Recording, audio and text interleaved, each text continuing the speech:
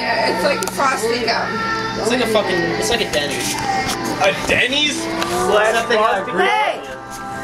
Assholes, tomorrow morning when I wake up, an hour after I wake up, I want some fucking French toast. Not six hours later, one hour later. You don't understand. We hang out with them, it's like, wake up, discuss, watch a movie, discuss, watch a movie. Yeah, when I was in driver's last, we woke up at like 10.